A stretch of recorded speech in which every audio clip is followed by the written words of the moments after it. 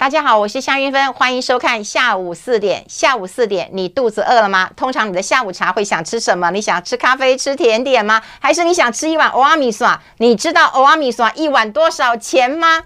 我告诉各位，主记长说我们的欧阿米耍一碗是二十块钱，真不想他是一个哪一个年代的人啊！现在我们家其实巷口有一家非常好吃的欧阿米耍，它这样一小碗六十五块，六十五块，六十五块。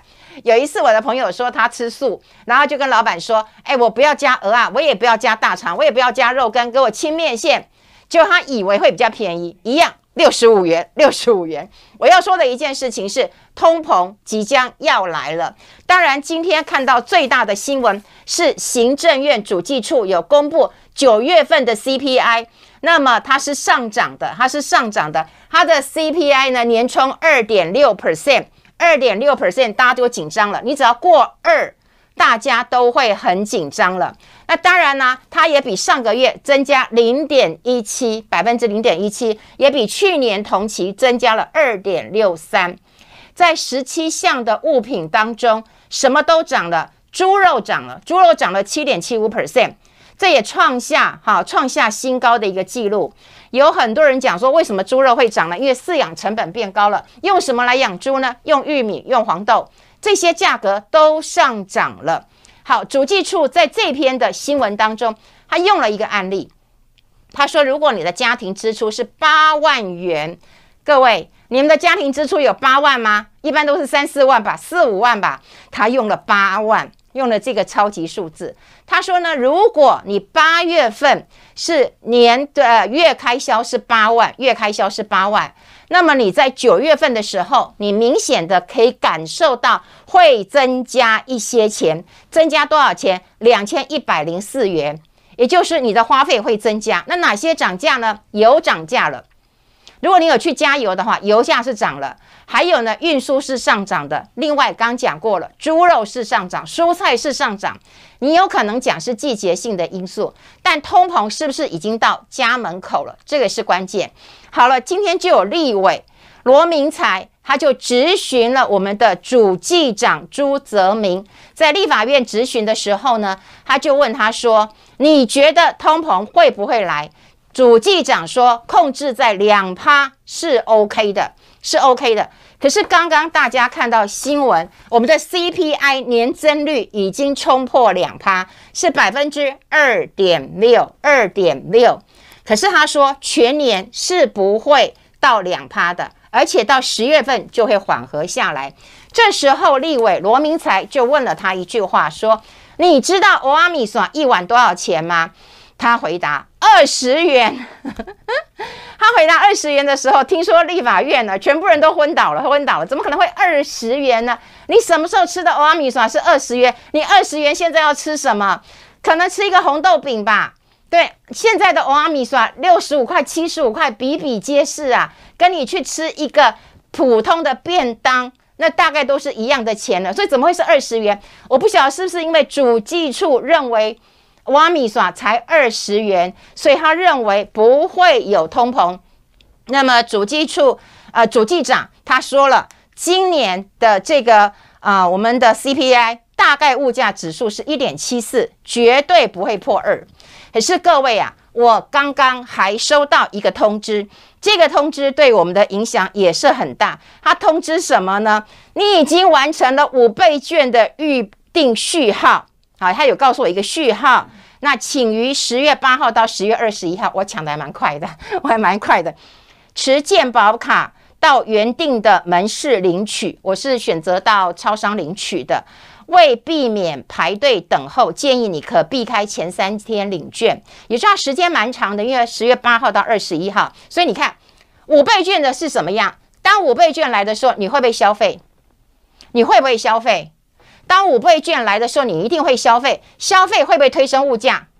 会，因为每个人都在买嘛。我们券这么多，你把券当成是钱嘛，就会买东西，就一定会推升到整个的物价。所以你不要以为说你现在物价控制的很好，因为你以为欧阿米刷只有二十元，事实上欧阿米刷不止二十元哈，你二十元你什么都买不到，好，所以你可能低估了物价。另外一方面，你估。低估了五倍券就要上路，上路一定会推升一些买气，推升一些买气也可能会让物价波动，这是一个事实。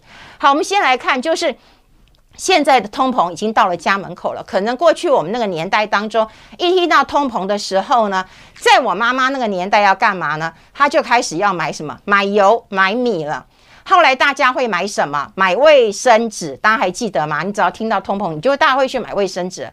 可是我们现在时代不一样了。我一定要跟大家讲，西代一言博港啊！如果你听到通膨的时候呢，你一定要记得一件事情，一定哈，真的记得钱不要放银行，这是要先做的。钱不要放银行，因为在放银行当中，你的购买力会不断的下降，因为通膨来了。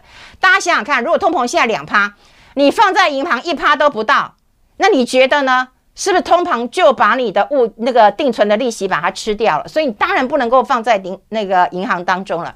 好，通膨来了，你要勇于投资，你不要跟我们老一辈的人一样，你去买卫生纸，然后你去买这个油啊、买米啊，这些都没有用的。你要勇于投资。可是我要跟大家讲，在通膨来之前，市场会非常非常的混乱，要不然就是你避开混乱期。要不然就是你打定主意之后，你不要去管混乱期。那我就要教大家，今天要跟大家分享两个方向，我觉得很好玩。最近的市场都在讨论，通膨之下你的投资数，不管是防御型的或者是积极型的，你都有两种做法。但我直接区分，你有没有看鱿鱼游戏的，跟没有看鱿鱼游戏的，我觉得你可以做这样的一个区分去做一个投资了。我们先来讲，你有没有看过鱿鱼游戏？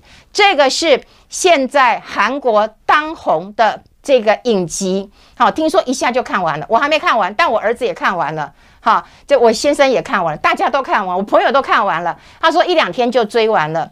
好，这个鱿鱼游戏在 Netflix 上面上涨，那么呃上演，可是哈，你不要只看到。这个哦，影集很好看，然后一直追剧，一直追剧，一直追剧。我刚刚看了一下 Netflix 的股价，已经涨翻了，已经涨翻了。那这个由于游戏啊，其实我看我儿子在看的时候，他也会躲，就是还蛮蛮吓人的哈。那他讲的就是小时候的一些玩具，比方说我们都玩过一二三木头人，那他就找一堆穷人。穷人，你会拿到一张入场券，然后你就一起去玩这个游戏。好，我们先讲一二三木头人好了，就是一二三木头人，然后就会回头。如果你在动，高台上面就一把枪，啪就把你射死了。好，还有一些游戏呢，是大家都有知道那个那个那个踩空的，也就是它有真的玻璃跟虚的玻璃，可是你不知道怎么过去，因为如果你踩到那个这虚的玻璃，你就直接掉到海里面去了。好，这个时候你就会看到人性了，因为只要前面的人死的越多，你就会记住位置，哪个不要踩，哪个不要踩。所以第一个人去踩的很紧张，最后踩的人他可能就会知道哪一些不要踩了。好，还有另外一个我觉得非常恐怖，因为我有看过一点点，就拔河游戏，两边在高台上面拔河，这边拔河，这边拔河。你想想看，这在高台中，然后中间就是海，而且很高的海。如果你拔输了呢，你就被拖到海里面直接掉摔死了。好，这个游戏呢，听说很多人都会觉得很紧张、很刺激，还有人看到人性了。好，如果你有看到这个鱿鱼游戏的话，哎，你不要只追剧啊，只追剧只会让你的脑袋好这个哦觉得很放松，但是你的眼袋会变得很深，可是对你的口袋一点帮助都没有。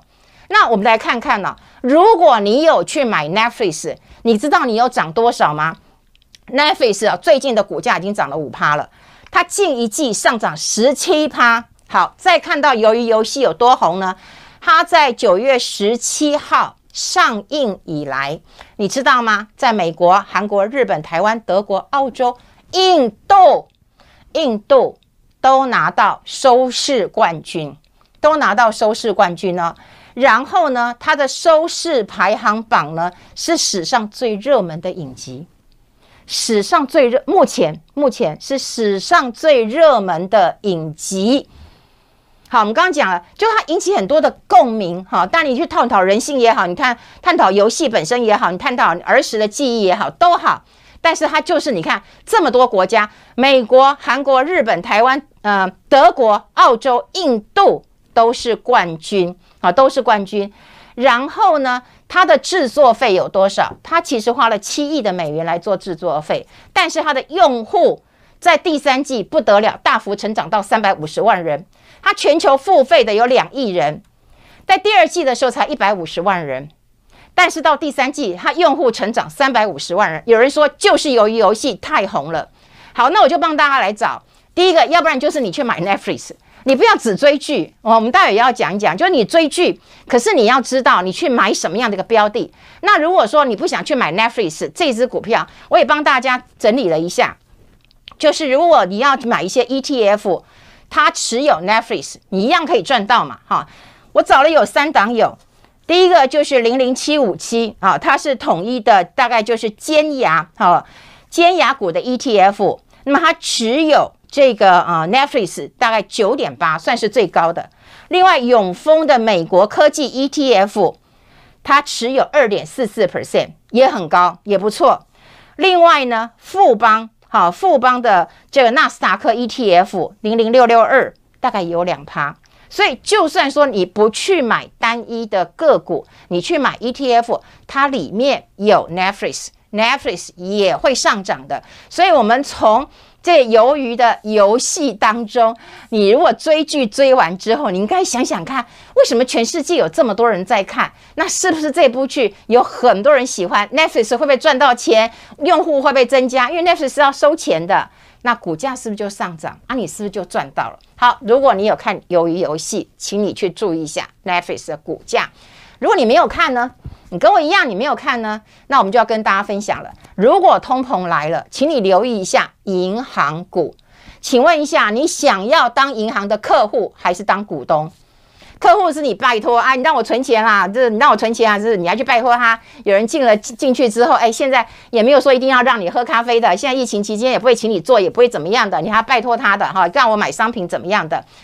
如果你成为银行的股东，你开不开心呢？当然开心的一件事情啊，所以我们帮大家来整理一下金融股啊。我觉得最近有很多人讲说啊，如果一旦升息，因为我们最近讲通膨来了，对付通膨最好的方式就是升息。